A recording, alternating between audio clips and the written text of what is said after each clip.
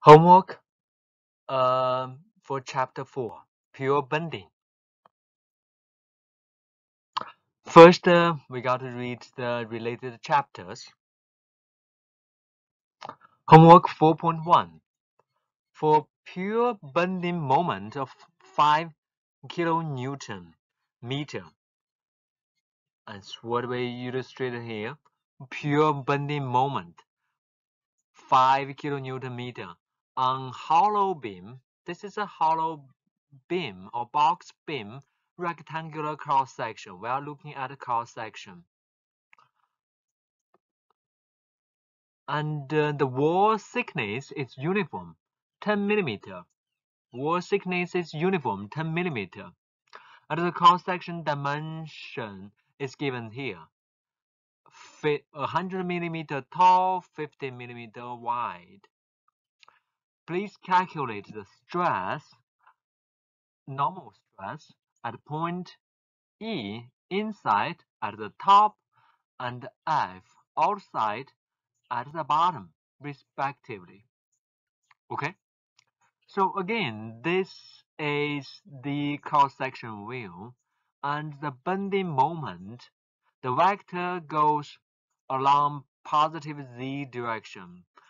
What we draw here is a so-called coupled vector, which means you are going to use right-hand rule using the uh, sum to go along the thicker uh, arrow, which is a vector m, and stretch straight the palm. Let the beam go through the palm in into the palm going out, and from the palm to finger, that is the direction of the bending, which means ends up. Okay, that's what we said. Uh, for the hollow rectangular beam, box beam, the cross-section moment, moment of inertia, what we learned in statics, cross-section moment of inertia would be 1 over 12 B1H1 to the power of 3 minus B2H2 to the power of 3. B1 and H1 are for the outer dimension. B2 and H2 are for the inner dimension since it's a hollow box beam. And then what is B, what is H? Remember we said in the class, B, the base that we assume would be parallel to the bending vector moment, bending vector moment. And H would be perpendicular to the bending vector moment. So here the bending vector is going along horizontal z-axis. So the B uh, would be parallel to B1 would be 50 millimeter or 0.05 meter and uh, B2 would be 50 minus 10 on the left, 10 on the right would be 30 millimeter or 0.03 meter. And H1 for outside, as you know, would be 100 millimeter. And H2 for inside would be 100 minus 10 on the top and 10 at the bottom. So would be 80 millimeter or 0.08 and you plug the number in, you get the moment of inertia for the entire cross section would be 2.89 times 10 to the power of minus 6. We have the unit of meter to the power of 4. Okay, so now let's look at for the E point. E point is upper and inside and so the distance from E point to the neutral axis would be half of this 100 minus the wall thickness 50 would be 50 minus 10 would be 40 millimeter. So the axial normal stress sigma, I'm writing absolute value would be my over I. M would be the bending moment, which what we said is 5,000 Newton meter. Y we said uh, just above for E point would be 0.04 meter or 40 millimeter and I will just calculated for the entire cross section and plug the number in you would get uh, the result. Okay? Uh, it will be compressive at E. It will be compressive at E. On the other hand, for F point at the bottom, the y distance from the neutral axis would be just half of the total height would be 50 uh, millimeter. And uh, the axial normal stress sigma x would be my over i. Again, I'm taking absolute value and uh, plug the number in, you get the result. Okay, and it will be tensile. So again, how do we know it's tensile compression? Based on the coupled vector as we draw, we said it's con it's bending up or ends up, which means if you look from the side view, remember the top is a cross-section view. And if we view from the side, the beam is long, very long. And of course, I'm not drawing to scale. And um, the m, the bending vector, would be going concave up or ends up. And E point would be at the top inner surface and F point would be at the bottom uh, outer surface. Of course, E point, as you can imagine, would go through uh, compression, compression, while F point will go through tension or pulling longer. Okay. Homework 4.2. The beam cross-section shown here is made of polymer. It has a T-shaped cross-section. It has allowable tensile stress of 25 megapascal and a compression stress of 30 megapascal, which means the maximum stress in tension cannot exceed uh, 25 megapascal and the max maximum compressive stress cannot exceed 30 megapascal for this polymer material that is used to make the beam. It has a T-shaped cross-section. We want you to calculate the largest uh, bending moment or bending couple that can be applied to the plane of symmetry at the cross section. Okay, to the plane of symmetry at the cross section. Again, remember you are looking at uh, the normal cross section for the beam. The beam goes out of the screen towards you and into the screen far away from you, assuming it, it is straight. Okay, um, prismatic beam, the same cross section. So to, to do this, the first part is to determine the cross-section moment of inertia. Um, and to get the moment inertia for this entire T-shaped cross-section, we have to break it into two parts. And it's what we illustrated here. And it's what we illustrated here.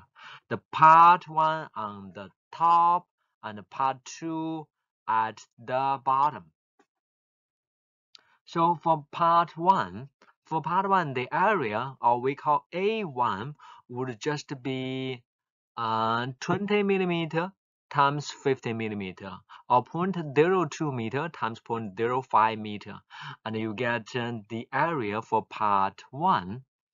And the location of the centroid for part 1 from you can calculate from the bottom or from the top. In this case, I'm calculating from the bottom. The y1, the centroid location from the common bottom, as you can see, would just be 20 plus half of 20 would be 30 millimeter or 0.03 meter. Similarly, for part 2, this rectangle part at the bottom, again, this is on cross section. The area would be very simple. 25 millimeter times the difference, which is 20 millimeter, and you get the cross-section area. And the y2, the location of the centroid for part 2 would just be half of the difference, which is 20 millimeter by divided by 2 or 10 millimeter or 0.01 meter. Okay? So we separated the cross section into two parts we're going to assemble. So this is the overall cross section. We separate into part one and part two. We know the uh, area for part one and part two, as well as the centroid location for part one and part two.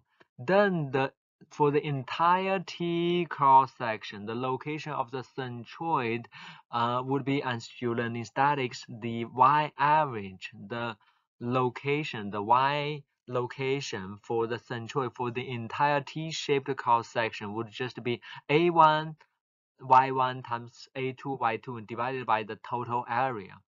Okay, and from previously we know A1, we know A2, we know y1, and we know y2 and you can get the average uh, location the location for the overall centroid for the entire T cross section would be slightly higher than this um, kind of part 1 part 2 interface.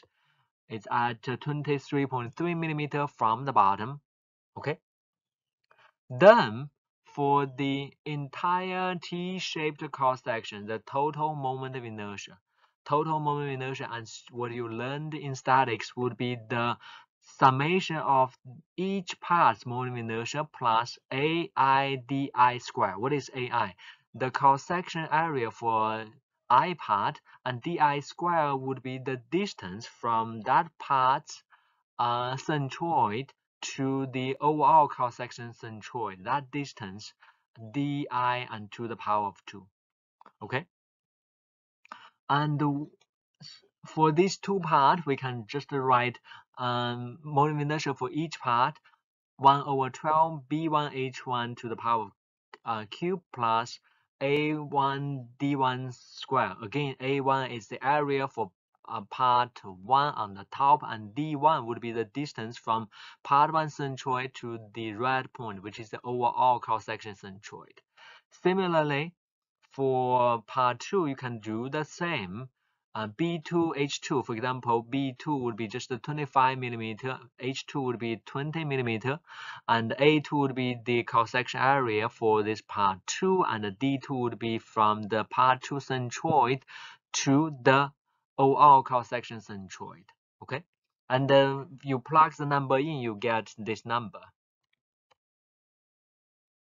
And from previously, that's what we got. The average centroid for the entire cross-section and the overall T-shaped cross-section moment of inertia.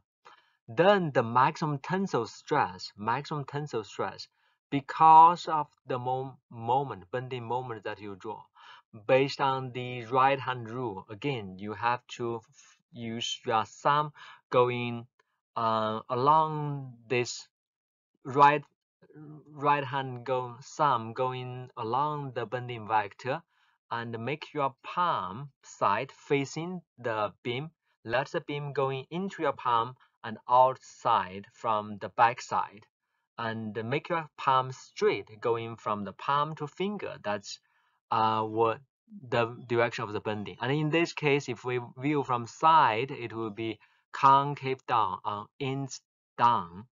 Okay, so of course the top surface will experience maximum tensile stress and the sigma uh, axial normal stress, I'm taking an absolute value, would be MC over I should be smaller than the uh, allowable tensile stress. And as a result, the moment that can be applied has to be equal or smaller than uh, allowable axial normal stress for tensile times I divided by sen, uh, C, maximum dimension for uh, tensile. And uh, we said for tensile case, the allowable stress would be 25 megapascal, which would be 25 times 10 to the power 6 pascal, times I, the moment inertia for the entire cross section, and C, the maximum dimension one can be away for tensile situation. Remember, the red dashed line is our centroid location for the entire cross section. It's at 23.3 millimeter from the bottom. So the the C for tensile would be from top surface to this red would be total 40 millimeter minus the the centroid location which is 23.3 millimeter and you plug the number in you get 1 condition. The M has to be smaller than 30 value when you consider the tensile stress at the top to be smaller than our allowable value, which is 25 megapascal. Similarly, maximum compressive stress would occur at the bottom. We said the moment uh, is bending moment. This again, this is a illustrated coupled vector for the cross section. So when you view from the side, it's bending concave down or ends down or ends down. So similarly, MCOI using absolute value, but the allowable compressive stress is slightly higher. We said it's 30 times 10 to the power 6 um, Pascal, 30 megapascal. I for moment of inertia for the entire cross section, which is the same, and the C compressed maximum dimension, one can be away from neutral surface for compression compressive stress case which is occurring at the bottom, which is just be 23.3 millimeter. You plug the number in, you get another condition. Okay, for M, moment of inertia. So overall, the maximum bending moment that can be applied will be the smaller of the two uh, condition for moment of inertia, sorry, for uh, bending moment, and uh, which you get the answer.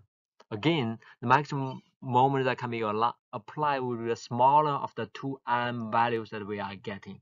Okay? And that concludes homework 4.2. Homework 4.3. A flat 10 millimeter wide.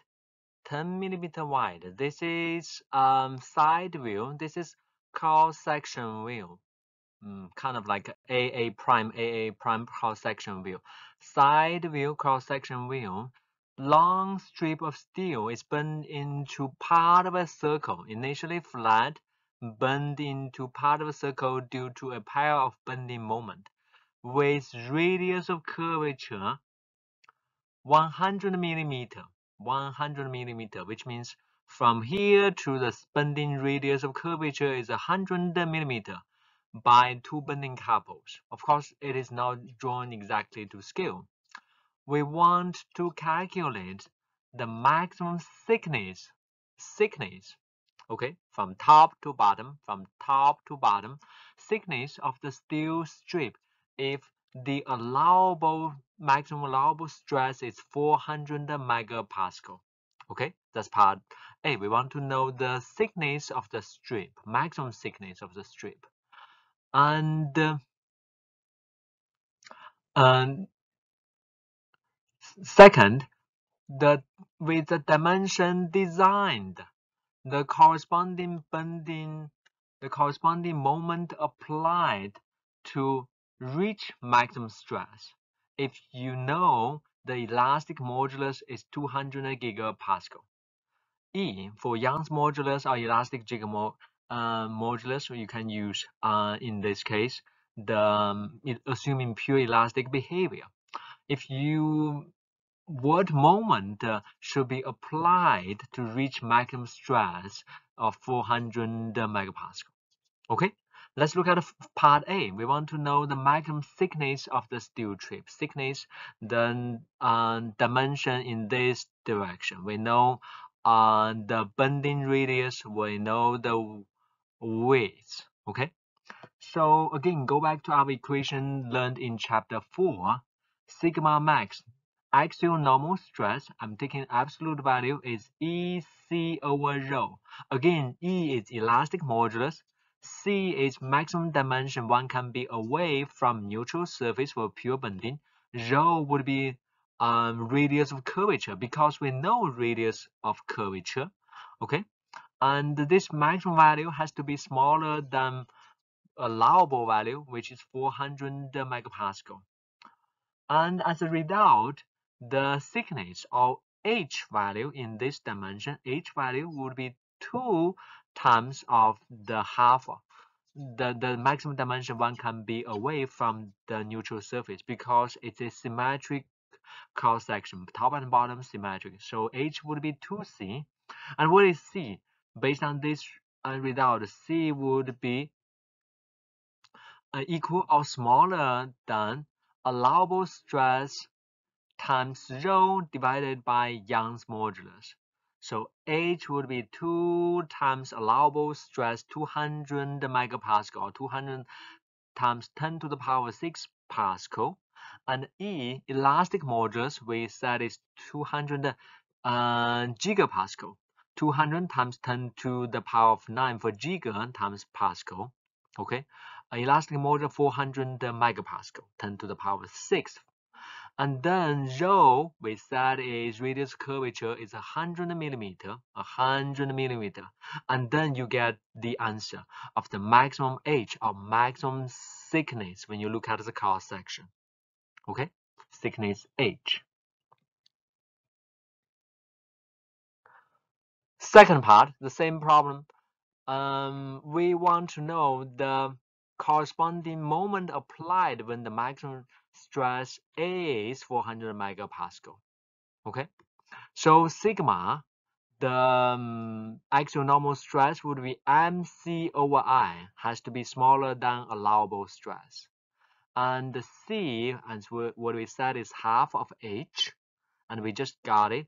I would be the moment of inertia for this entire cross section and uh, the bending moment are drawn this way concave down or ends down and b would be the dimension that is parallel to the moment vector.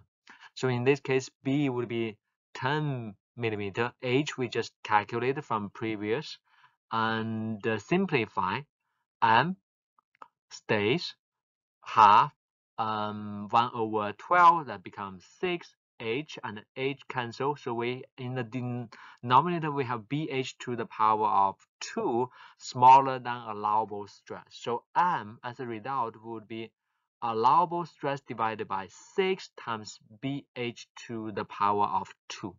Allowable stress we know is 400 mega 10 to the power 6 um,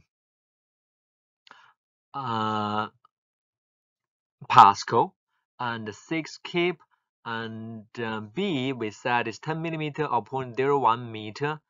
H square h we just calculated from previous slide will be this number.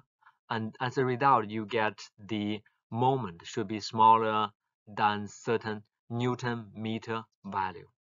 Okay?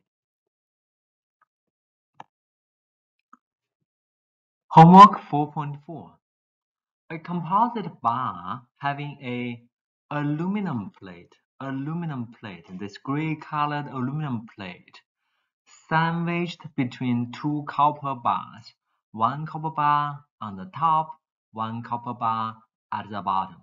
Okay, we know the material property. EAL for aluminum elastic modulus is 70 gigapascal. Uh, Young's modulus for aluminum is 70 gigapascal the allowable stress for aluminum would be 100 megapascal. Okay, and for copper, the material property are E brass. Uh, elastic modulus for brass would be 105 gigapascal, higher than aluminum. And the allowable stress is also slightly higher, 150 megapascal. Okay, so we know the um, it is a composite, symmetric composite bar, and we know the cross section. This is the cross section view for that long bar with 4 centimeter in one direction, thickness of 2 centimeter for aluminum and 1 centimeter and 1 centimeter for top and the bottom copper bar. Okay, again, this is the cross section view we want you to calculate the largest permissible, largest the allowable bending moment. Bending moment. Again, this is drawn in the coupled vector format. Okay, when the composite bar, this is cross-section view, is subjected to bending moment about a horizontal axis and illustrated. So this is cross-section view. The moment vector is pointing towards the left. Okay, this is a coupled vector drawing, which means in reality the composite beam going out of from the screen is bending concave up or ends up, both ends up. Okay. We want to know the largest permissible bending moment that can be applied for such a composite bar. So uh, as we learned in this chapter, for this composite um, bar, one way to solve this problem is to trans transform this composite bar into a uniform single material bar. And to do that, you can either transform the copper into aluminum or from the aluminum into copper. Okay, we for this uh, homework example, we transform the center aluminum, this gray part in the center, into equivalent copper, into equivalent copper. So when we do from aluminum into copper, we define the M factor, the ratio between aluminum elastic modulus to copper elastic modulus would be aluminum 70 over copper 105 and that is 2 over 3 or 0.667 that is the factor to convert him from aluminum to copper M factor. So then for this uh, transformation the base for the aluminum the base for the aluminum, remember the, the base should be parallel to the bending uh, moment vector. So in this case, uh, the bending moment vector goes this way. So it is this dimension, this 4 centimeter for aluminum has to be transformed. So the equivalent uh, copper base for the center would be aluminum base 4 centimeter times this M factor. So 4 centimeter times 0.667, you would get the equivalent pure copper bar to look like an I-shaped bar with the center uh, equivalent width of only 2.667 centimeter. Okay, so um, from a composite bar, we converted into a equivalent pure copper bar with the center aluminum transformed into equivalent copper. And because copper has higher modulus it doesn't need as large weights from stress point of view okay? So now we finished the uh, transformation. Again the dimension that will be transformed is the dimension that is parallel to the uh, bending vector bending vector to the left indicating this by again you look at the cross section view would uh, bend concave up which means both ends up. And that 4 centimeter transform to 2.667 centimeter by 4 times this ratio this ratio of aluminum to copper ratio. Okay? So again Left side is cross-section view for the copper, aluminum, copper, or brass, aluminum, brass composite bar. The right side is the equivalent pure copper bar, pure copper bar. Okay, and uh, the vertical, the uh, the other dimension, one centimeter, one centimeter, two centimeter, two centimeters, one centimeter, one centimeter, doesn't uh, transform because they are perpendicular to the bending uh, moment vector.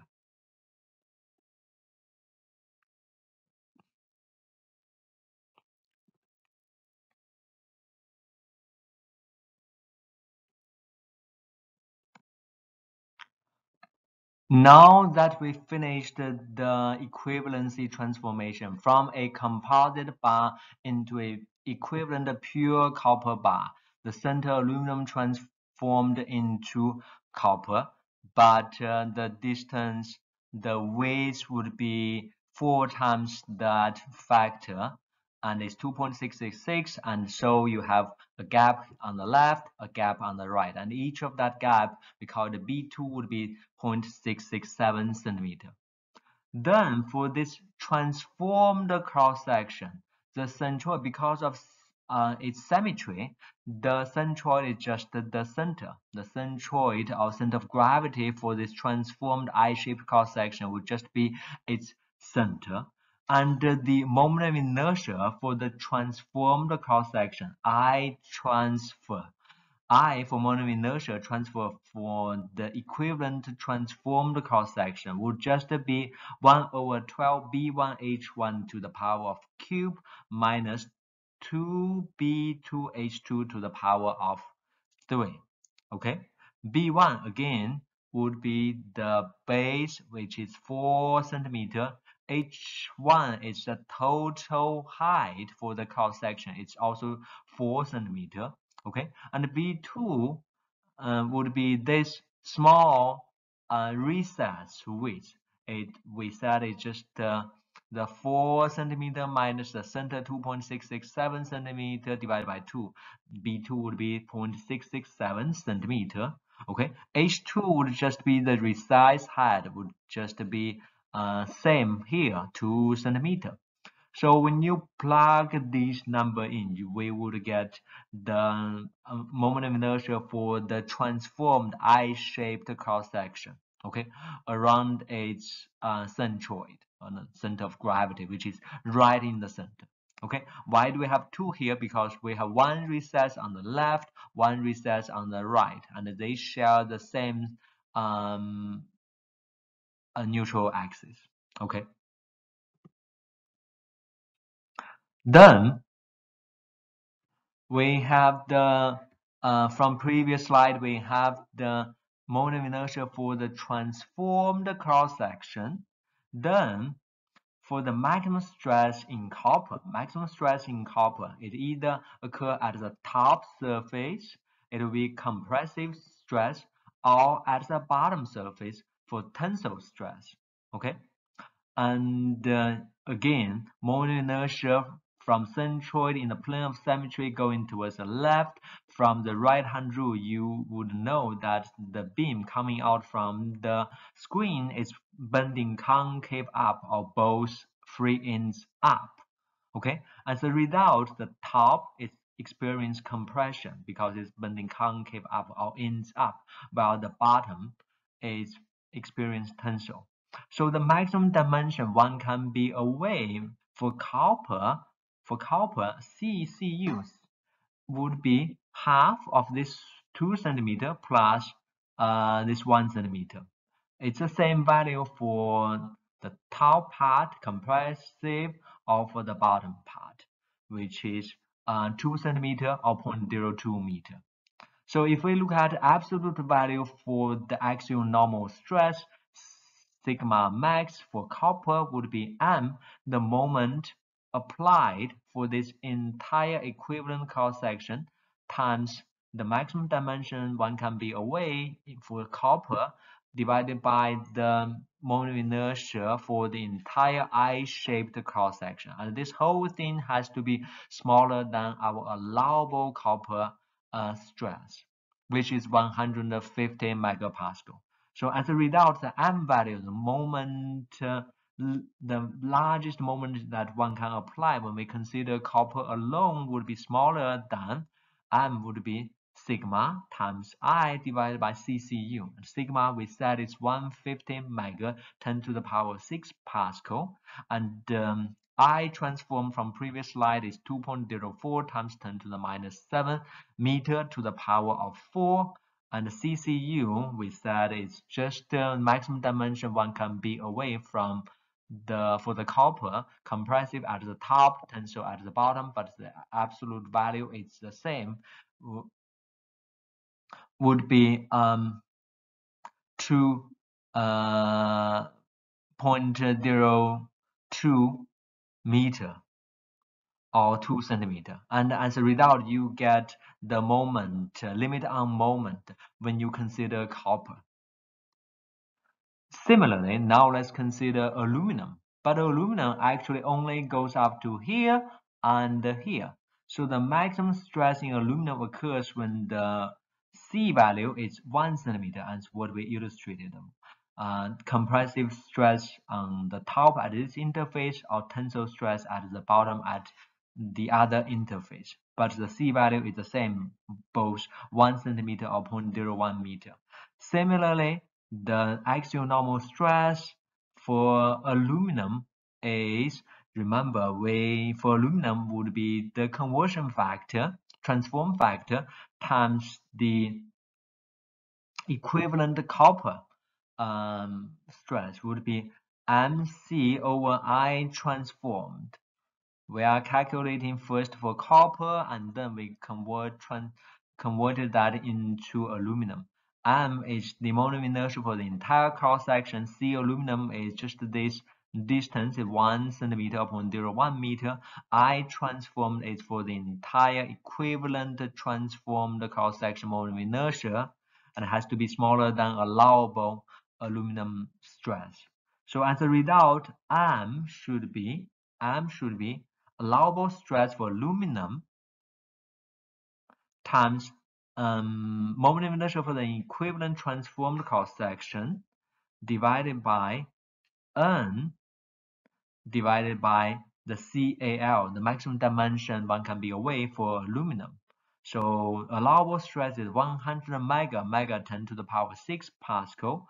I transform from previous um, calculation we know is 2.04 times 10 to the minus 7 meter to the power of 4 and N this aluminum to copper a factor is 0.667 so for aluminum it's just you put this n here and then the Ca aluminum is 1 centimeter or 0.01 meter. And you get another limit on the m value so overall the maximum bending moment allowed would be the smaller of the 2m calculated by considering um, copper and for the equivalent and by considering uh, aluminum.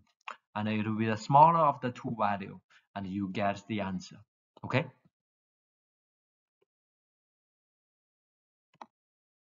Homework 4.5 a plastic long cylinder support with radius of 4 inch 4 inch from center to the surface is 4 inch for this cylinder long cylinder support.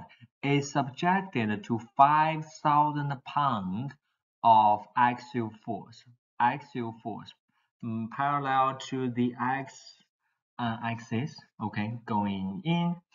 We want you to determine the axial normal stress at the um, B point at the top uh, when y reaches maximum when the A distance is zero and when the A distance is 2 inch when A equals to 0, that will just be centric force. When A equals to 2 inch, that will be so-called eccentric axial loading.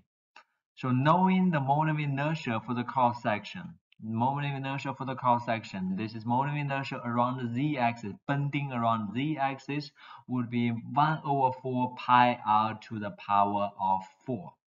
1 over 4 pi radius to the power of 4. Okay?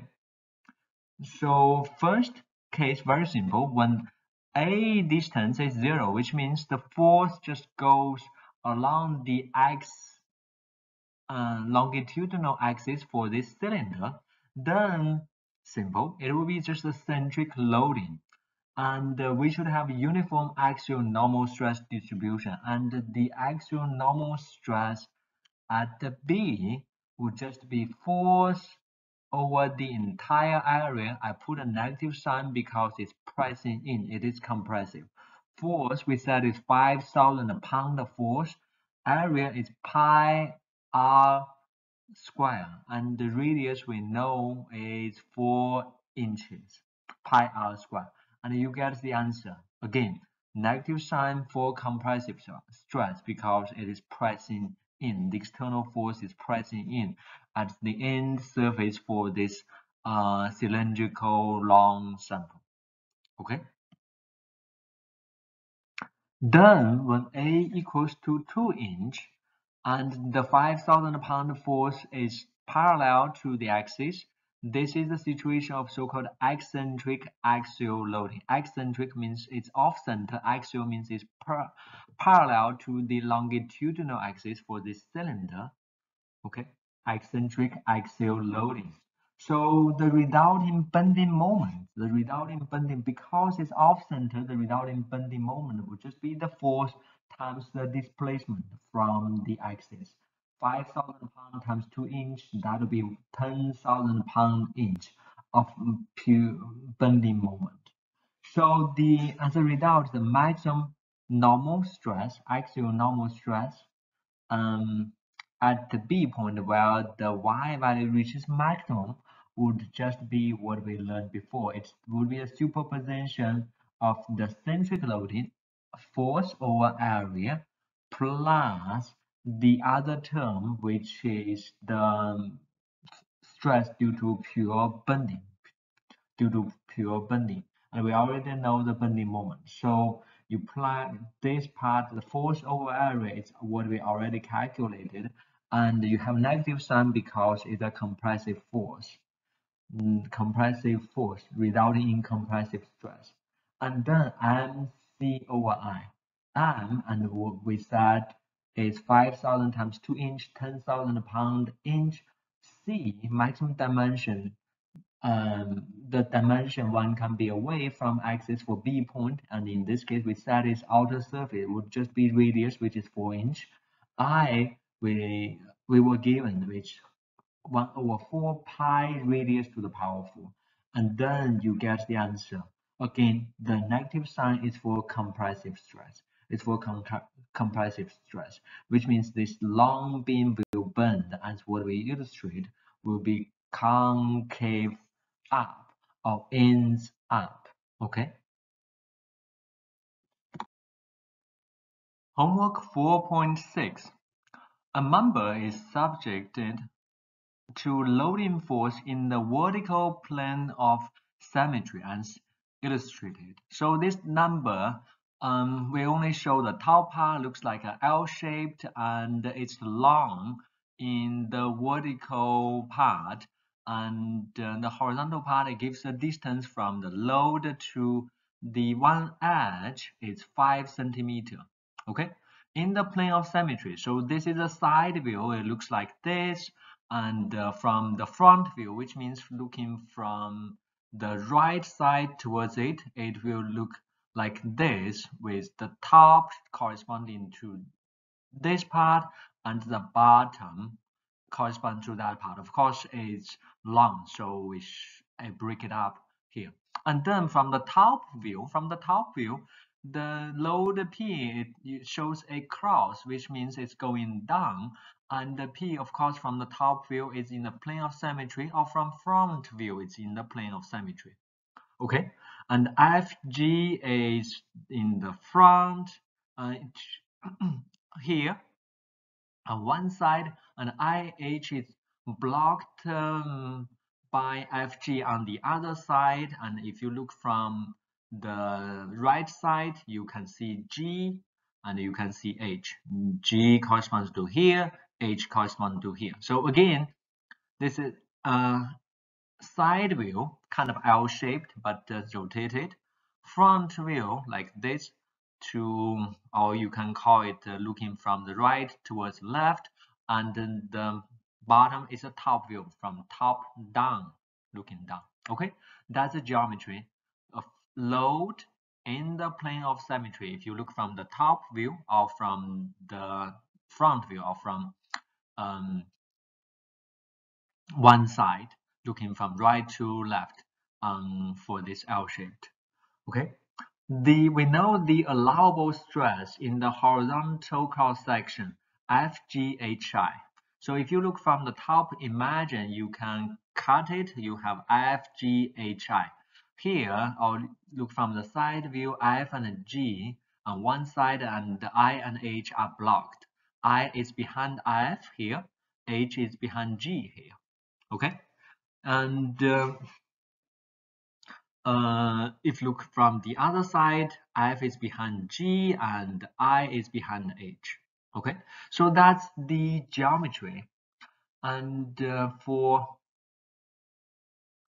we want we know that the allowable stress in this cross section uh, is 100 megapascal. So we want to know the largest force P that can be applied. As you can imagine, when the P is very small, it's safe, but when the P goes larger and larger, it's um, eccentric axial. we mean eccentric, which means this P is not going along the uh, vertical axis for this FGHI um, axis cross section and uh, eccentric axial, but it's parallel to its axial uh, longitudinal axis. Okay, going down.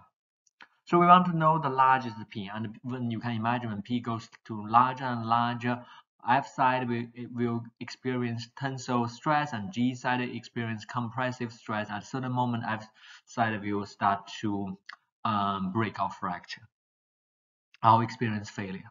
So we want to know what P value uh, we can apply. It's a very practical problem, and quite often you see this. So um, to help us visualize I kind of like uh, draw it again. And this time I draw the vertical a little bit longer because here we have it short, but we have break to show it is actually pretty long. And then P is going vertical, it's eccentric axial, it is parallel to the axis for this uh, for this one, but it's eccentric it's not going through the axis. It's at some distance d away from that distance.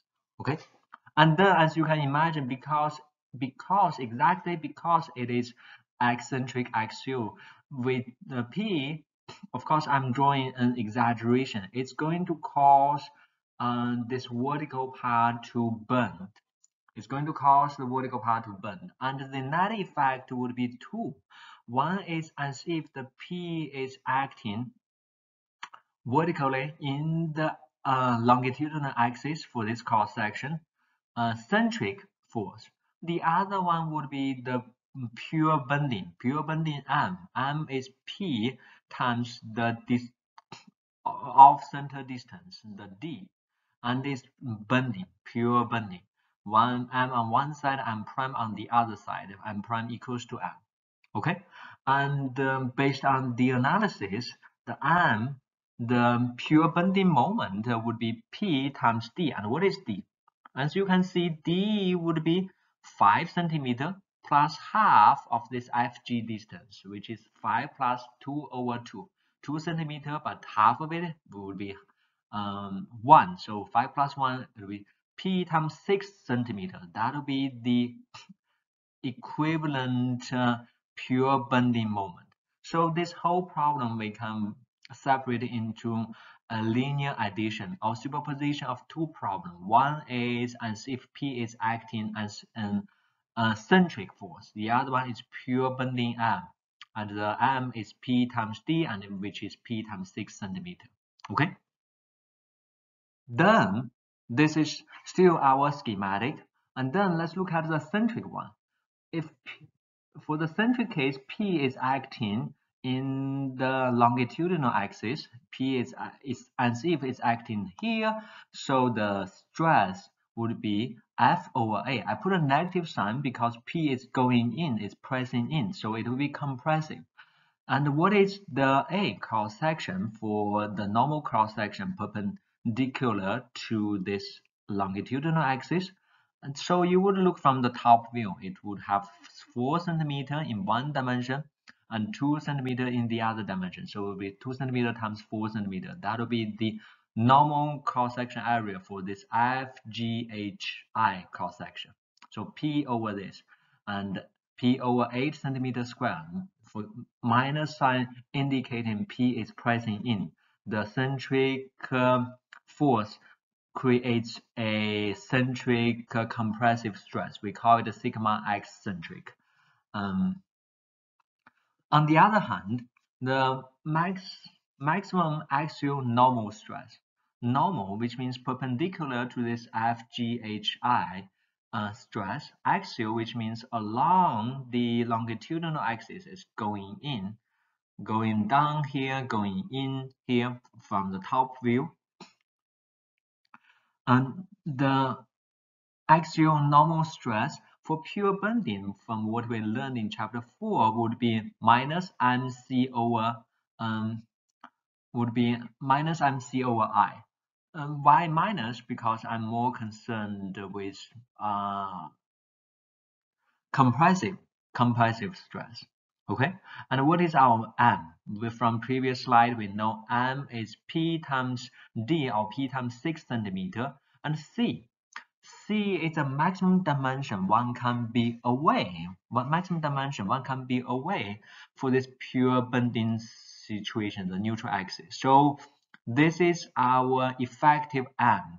Okay, the um, bending moment vector is drawn upward, which means if you are going to use your right hand rule, uh, you put your thumb along this arrow direction, um, make flat your palm and let the beam going into the into the palm and out from the back side of your hand and then from hand to the finger. That's the bending direction. And uh, that's uh, what that's what we show here. Okay? It's going to as you can see the outside F side or IF side will experience tension and the HG side will experience compression. But anyway the maximum dimension you can be away from the neutral axis. Neutral axis is parallel uh, to the moment vector. And neutral axis would be here okay? Would be here. So the distance c would be half of 2 centimeter or 1 centimeter. And then i moment inertia for the cross section of uh, interest. So when you use of course it was 1 over 12 bh to the power of 3 but what is b remember we said b is parallel to the moment in uh, to the bending moment vector. So our bending moment vector goes this way. So the 4 centimeter IF or HG length would be our B value, while the FG or IH value is 2 centimeter would be our H value. Okay, H would be perpendicular to the um, bending moment vector. So simplify the maximum bending stress, here we consider the compressive stress on the HG side would be 9p over 4 centimeter square. Okay, and uh, given this, so the maximum compressive stress, maximum stress from these two combined effect, one is centric, one is pure bending, would be just a linear addition of this one. And the centric we get it from previous uh, slide p over 8 centimeter square minus sign indicating compressive.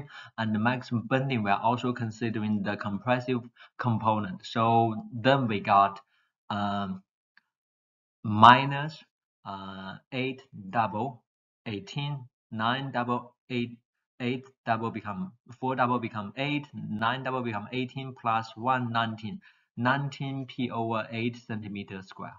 And then if we consider absolute value, is this absolute value has to be equal to or smaller than our allowable normal stress value, which we said is 100 megapascal. So as a result, you get P should be 100 megapascal 10 to the power 6 Newton per meter square times 8 centimeter square 8 times 0.01 meter to the power of 2 over 19 and you get the answer in Newton or in kilonewton. So it is a kind of a relatively complex problem. It is loading in the plane of symmetry but eccentric axial okay? Because of this, because of this load, we are going to cause the uh, the vertical part to kind of bend and off center and this we said it we can treat it as combination of one is centric load one is pure bending. And we solve each of them and then we add them up together and make the total absolute value to be smaller than our allowable value and then we get to solve the uh, maximum amount of load or P we can apply. Okay. Last problem, homework 4.7.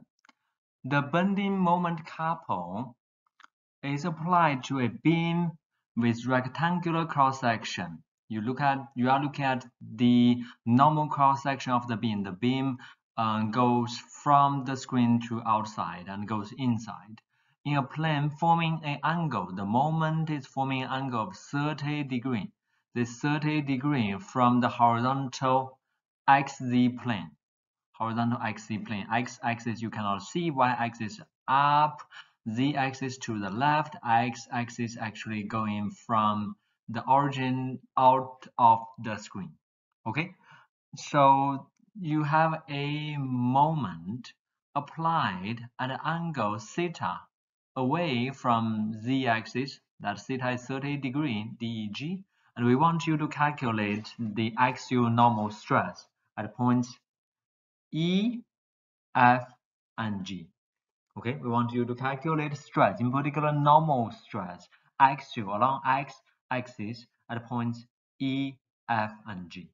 Okay, so to solve this, the first, um, similar to what we solved before, the first step would be to resolve the bending moment, the bending moment M around the two uh, axes. One is Y, one is Z. So bending moment around the z-axis, bending moment around z-axis. Okay, this is the bending moment vector. So the bending moment vector along the axis will just be m times cosine theta, cosine theta, which m is 500 pound inch, theta is 30 degree, and you get 433 pound inch. That's mz, the bending moment, the moment that tries to bend the beam around z-axis or the bending moment vector will be going along the z-axis okay and because of this mz the maximum stress the maximum axial normal stress the maximum axial along x axis or x direction normal stress caused by mz would be mc over i of course, here m would be just mz and c would be the maximum dimension one can get away from the z-axis because we are bending around the z-axis. Okay, and the iz would be the moment of inertia for the cross section around the z-axis. So mz from above is 433 pound inch and CD, the maximum dimension one can be away from z-axis and you can see would be half inch, 0.5 inch. And IZ would be the moment of inertia around the d axis would be 1 over 12 BH to the power of 3, but B should be parallel to the z-axis, our bending axis. So B would be 0.5 inch and H would be 0.5 plus 0.5, 1 inch to the power of 3 and you plug the number, you can get the uh, absolute value, the maximum axial normal stress. Maximum, highest, axial means along the x-axis, perpendicular to the normal cross-section, um, due to mz, is this value, 5,196 psi pound per square inch. And uh, similarly, bending moment around the y-axis. You resolve the m along z-axis and along y-axis. The bending moment around y-axis and y would just be m times sine theta. m times sine theta. And m is 500 pound inch and sine theta. Theta is 30 degrees. Sine 30 degree would be 0.5 times 500 would be 250 pound inch. That would be a moment trying to rotate the bend the beam around the vertical y-axis. And as a result, the sigma normal stress along x-axis, the maximum value it reaches due to bending moment, and y ultra due to bending around the y-axis would be same mc over i, but everything would be around the vertical y-axis. And y we just said is 250 pound inch and cy the maximum dimension one can be away from y-axis so it will be half of 0.5 or 0.25 inch. And I y moment of inertia around the y direction would be 1 over 12 bh to the power of 3 but b would be parallel to the neutral axis or this um, here. As a result b would be uh, 0.5 plus 0.5 1 inch. And h the dimension perpendicular to b would be just 0.5 inch. And you plug in the number you get 5997 psi okay? That is the maximum normal stress in the cross section due to mz alone and due to my alone. Then now let's look at at point uh, e upper left hand side corner. So as you can Im imagine, mz, mz is bending the moment around z direction, and mz is causing at e compression because it is above the vector, and um, on the other hand, my, my is along y-axis, and my would be causing the e to experience tension. So if we're going to write uh, the total axial along x-axis, uh, normal stress for E point would be those due to mz and that compression we put a negative sign here plus the maximum stress due to my but its tension we keep positive. Okay of course in between in them we use absolute value. So we would have a answer for the e point. Similarly for point f for point f and mz is also causing compression because it is on the upside of this um, bending moment vector. On the other hand uh, for f point uh, Y will also be causing compression so as a result the total axial normal stress for y point would be two compressive stress uh, together. One is due to mz is negative, one is due to my is also negative or compressive. And you get a second answer, which is for the local stress state at F point. Finally, for point G, finally for point G, mz is causing tension okay? Because the bottom will be stretched longer while my will also cause it to tension to, to cause it to expand. So we have positive and positive. Each of these are the maximum normal stress due to certain moment component okay and you add this up together you get the final stress for the G point okay and uh, that concludes the homework for chapter 4.